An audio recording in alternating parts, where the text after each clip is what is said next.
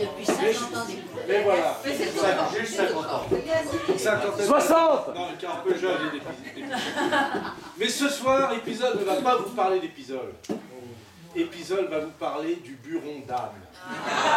Ah Même les plus jeunes savent ce qui se passait au bureau qui est devenu un endroit mythique, un endroit culte, un endroit symbole d'une génération, d'une époque. C'était les années 70, c'était le patchouli, c'était le hakik, c'était les filles euh, libérées.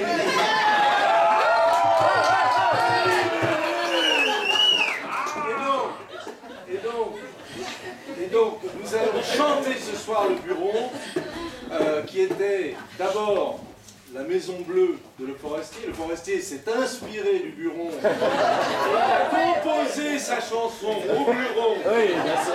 avec, avec Anne. Nous enchaînerons sur la chanson que Jean Ferrat a composée à la gloire d'Anne et du bureau.